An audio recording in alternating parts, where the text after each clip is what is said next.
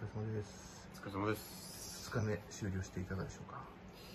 いやーなんか昨日の長いシーン3つ撮ってからなんかすごい吹っ切れたというかそのおかげで今日あの表情とかなんか一個あのアクションを起こすみたいなシーンが多かったんですけどすごい気を楽に撮れたというかなんかだんだん代々木ジョニーが自分の中に落とし込まれていくような感覚がなんか楽しいと思えています。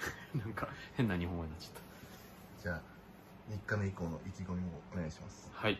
えっ、と明日も結構長いセリフのシーンが多いのであそこが心配ではあるんですけどでも第一に楽しもうっていう気持ちは忘れずにあのちゃんと頑張って挑みたいと思います。よろしくお願いします。最後に桃は好きですか？桃大好きです。はい。本当にいくらでも食べられますあれは